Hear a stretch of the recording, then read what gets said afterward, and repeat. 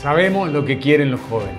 Para estudiar, boleto gratuito, comedores y albergues universitarios. Oficios que te ofrece la Universidad Popular de Misiones. Silicon Misiones con un mundo de posibilidades.